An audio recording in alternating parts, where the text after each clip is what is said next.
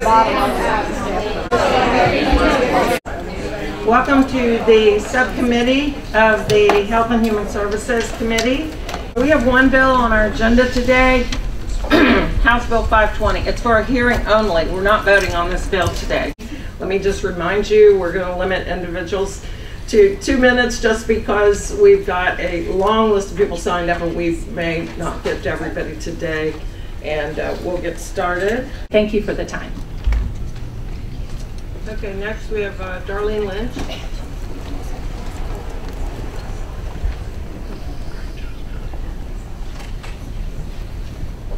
Thank you, Chairwoman, and thank you, Committee. I'm Darlene Lynch, and I'm here on behalf of the Center for Victims of Torture in Georgia, a longtime member of the Georgia Mental Health Policy Partnership, and one of the handful of providers in the state serving Georgia's refugee and immigrant communities today.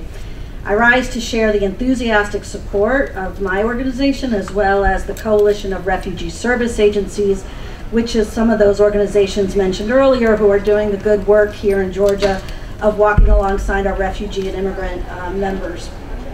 We believe that uh, HB 520 is creating a modern, evidence-based system that serves all Georgians, including our foreign-born communities. Today, foreign-born Georgians make up 10% of the state's population and 14% of our workforce.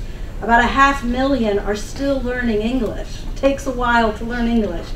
And yet there are so few providers that thousands of hardworking Georgians are effectively barred from access to care. DBHDD has acknowledged that in its grant applications that there is a critical unmet need here that actually threatens its risk, um, its federal funding. Um, HB 520 is a cr critical step forward, and we particularly support the provisions in the bill in Section 12 that would modernize licensing in Section 19, that would help attract clinicians to underserved communities like ours.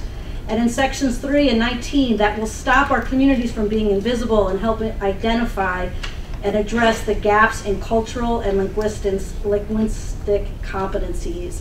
Um, we thank you for uh, your attention and hope you'll support the bill. Thank you. Uh, next, Bill Quinn.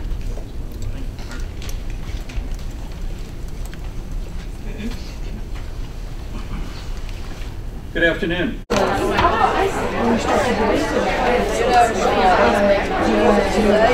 Thank you.